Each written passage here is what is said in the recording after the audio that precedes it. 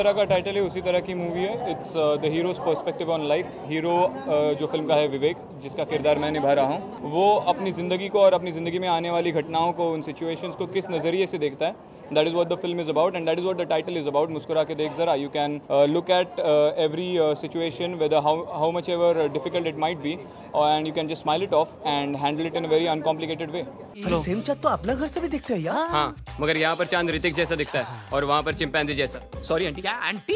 चुम्मा ले लूँ?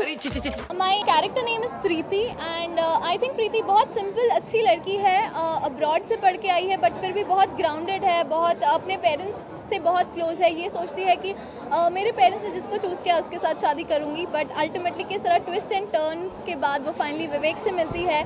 She is basically playing the love of his life so जब वो उससे मिलती है तो प्यार आता है। जो लड़की से प्यार करते हैं वो उससे फूल देते हैं। देखो मैंने सिर्फ़ इतना कहा कि मैं तुमसे प्यार करता हूँ। लेकिन ये कभी नहीं कहा कि तुम भी मुझसे प्यार करो। पूरे सात गाने हैं पिक्चर में।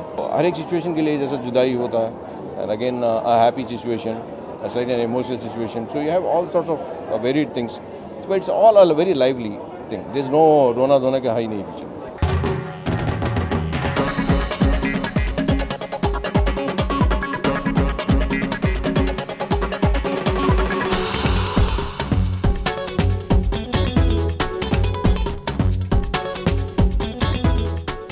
उम्मीद करता हूँ और विश करता हूँ कि पब्लिक को भी ये उतना ही पसंद है जितने मुझे पसंद है सोमशेखर की ये शुरुआत है और मुझे पक्का यकीन है कि ये बहुत आगे जाने वाला है। कि जब कवि होता है आदमी तो उसको म्यूज़िक की समझ अपने आप ही हो जाती है, अगर आप फ़िल्मों में गाने लिखते हैं तो। और ये कवि हैं, गाने भी लिख रहे हैं और ज़ाहिर सी बात है कि इनकी समझ जो है, हम हम जैसे लोगों से ज़्यादा अच्छी होगी।